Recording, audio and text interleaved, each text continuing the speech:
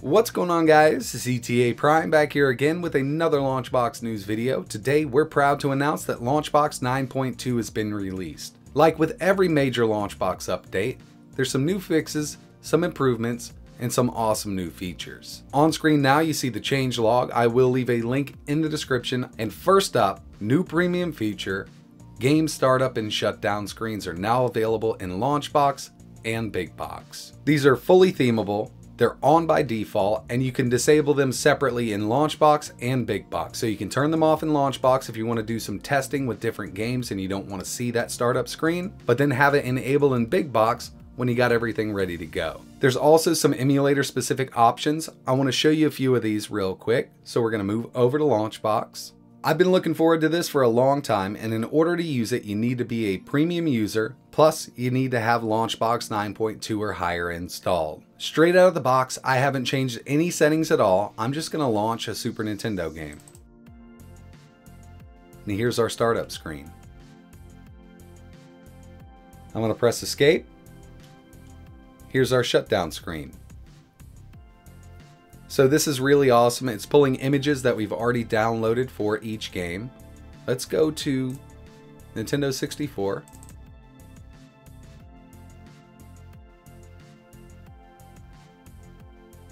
And there we have it.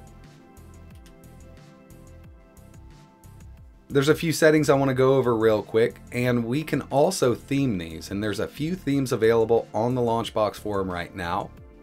Tools, options, game startup.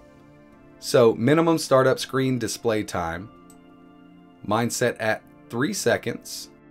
Minimum shutdown screen display time set at 3 seconds. My startup theme is set to default, but I'm going to go ahead and change this to center logo. And if you want to download this, it's on the Launchbox forum right now under the download section. It's by Retro808, and I want to give him a big shout out because this is awesome. I'm really liking this one.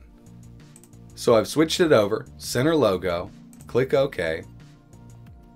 I'm going to start up the same game. Got the center cartridge, got my box art, got a little screenshot. Press escape. But when we move over to disc-based games, let's say GigaWing 2, we get that spinning disc. And I think that is awesome. You can turn the time up a little bit if you want to. I'll escape. I also want to show you another one here. Default 3D boxes. Over here on the forum by Neil9000. This one's pretty awesome too, guys. So go ahead and download these. These are some of the first ones out right now. We have two ready to go. Let's go with Marvel vs. Capcom 2. Non-centered, think it looks amazing. Personally, I just want to thank Neil9000 and Retro808 for coming out with these so quick. They look amazing, guys. There's also some emulator specific settings in here. We'll go to Tools, Manage Emulators. I'll go to RetroArch, Game Startup Screen. Enable Game Startup Screen. You can turn this off for a specific emulator. Hide mouse cursor during game. Aggressive startup window hiding. Hide all windows that are not an exclusive full screen mode. This option may make for a cleaner startup sequence for some emulators that use exclusive full screen mode. If you see a black screen, this isn't going to work for you. Go ahead and uncheck it. We also have startup load delay set at 5 seconds. This doesn't work well with exclusive full screen mode emulators, so you kind of got to experiment with it. Hopefully, down the road, we get some new theme creators to make some new startup and shutdown screens that are just out of this world. And I'm sure it'll happen, just give it a little bit of time. This was just released, and there's already two on the forum to download.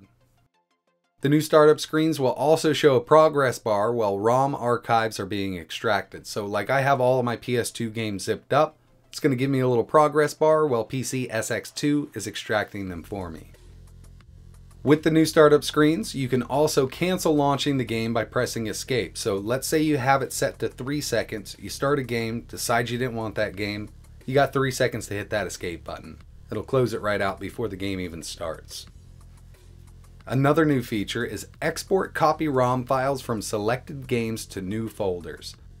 I want to show you how this works because I think this is pretty cool. This works really well with the new generate playlist option. So I'm going to go to playlist and let's just say I wanted all of my Midway games or all of my rare games from N64 exported to a different folder so I could use them somewhere else. I'm just going to click on a game, control A, got all of these highlighted, tools, export copy ROM files from selected games to new folder. So I'm going to go through here. Let's just do it on my desktop. Make a new folder. N64 Rare. So it successfully copied those 11 games to my desktop and they're in my N64 Rare folder that I created on the desktop. There's always some new improvements. Like I mentioned, I'm going to go ahead and leave a link to the changelog in the description. But one fix that I was excited about was this right here. Various big box screen positioning issues with multiple monitors that use different DPI settings has been fixed. So this really helped me out a lot because on my main PC that I run Launchbox on all the time, I have two monitors set up.